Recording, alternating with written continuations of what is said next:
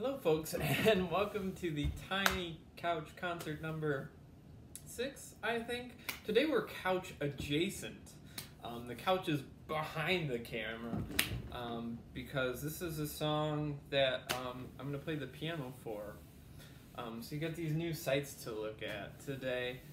Um, this is a song that I thought about doing a week or two ago, but it is kind of long so I decided to do something else.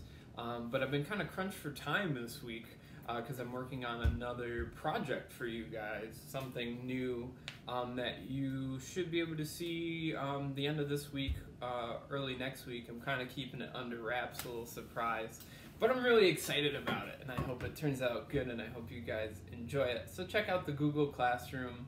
Um, towards the end of the week, early next week, I'll throw something new your way. But um, in the meantime, this is a song made famous by a certain frog called "It's Not That," or it's it's not that easy being green, something like that.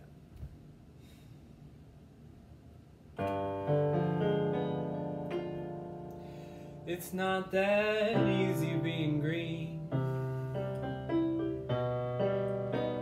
Having to spend each day the color of the leaves. I think it would be nicer being red or yellow or gold or something much more colorful like that.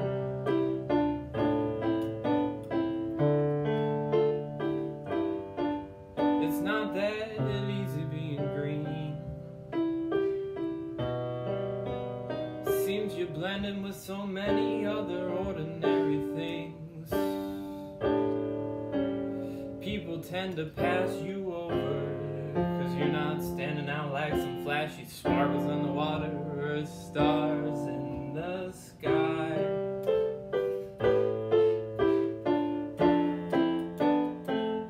But green is the color of the spring. And green can be so cool and friendly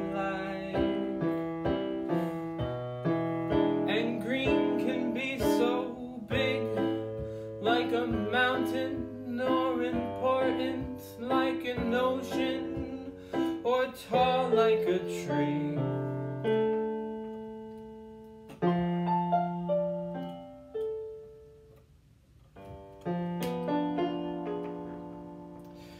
When green is all there is to be It could make you